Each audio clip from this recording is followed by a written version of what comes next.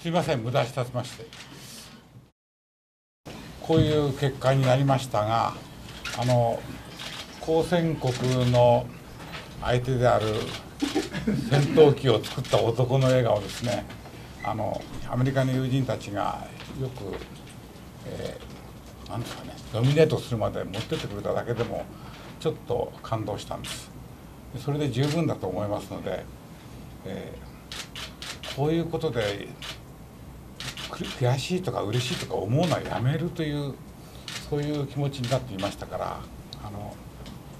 本当にアメリカの友人たちがよくやってくれました。それで作品として評価して